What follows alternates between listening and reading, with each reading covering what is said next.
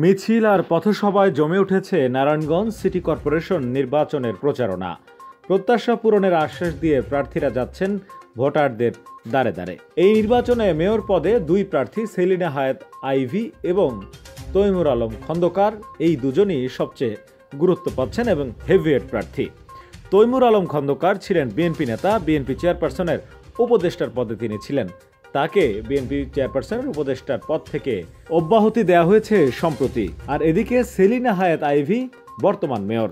সম্প্রতি নারায়ণগঞ্জের একটি রেস্টুরেন্টে আওয়ামী লীগের মেয়র প্রার্থী ডাক্তার সেলিনা হায়াত আইভির পক্ষে মত বিনিময় সভা করেন আওয়ামী লীগের কেন্দ্রীয় নেতারা।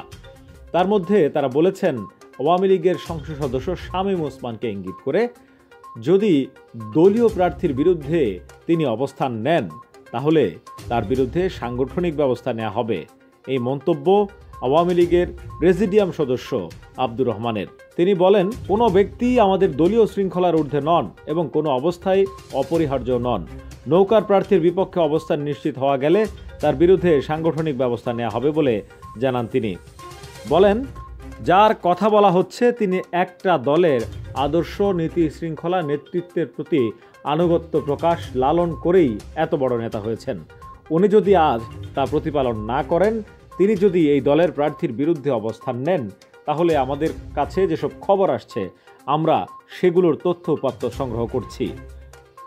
বিষয়টি যখন নিশ্চিত হব যে উনি আমাদের প্রার্থীর বিরুদ্ধে অবস্থান নিয়েছেন, তখন তার বিরুদ্ধে সাংগঠনিকভাবে ব্যবস্থা গ্রহণ করা ছাড়া আমাদের কাছে কোনো বিকল্প থাকবে না।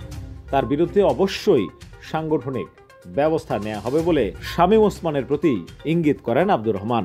বলেন, একইভাবে জাতীয় পার্টির চারজন চেয়ারম্যান তৈমুর আলম খন্দকারের পক্ষে অবস্থান নিয়েছেন এবং কাজ করছেন। কেন্দ্রীয়ভাবে তাদের সঙ্গেও যোগাযোগ করা হয়েছে। জাতীয় পার্টি যদি জাতীয় রাজনীতির প্রেক্ষাপট বিবেচনা করে সিদ্ধান্ত না নেয়, তাহলে তাদের বিষয়েও আওয়ামী লীগ ভাববে। তিনি প্রত্যাশা করেন জাতীয় পার্টিও খুব দ্রুত তাদের অবস্থান পরিষ্কার করবে। এদিকে নৌকার পক্ষে কাজ না করায় নারায়ণগঞ্জ মহানগর ছাত্রলীগের কমিটি বিলুপ্ত করা হয়েছে। এই কমিটি শামীম ওসমানের অনুসারী।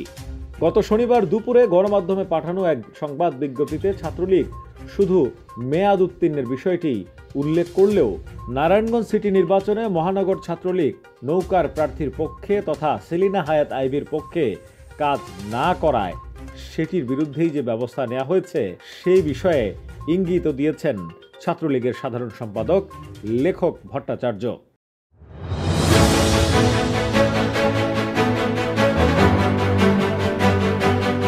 মধ্যপ্রাচ্য, ইউরোপ, এশিয়া।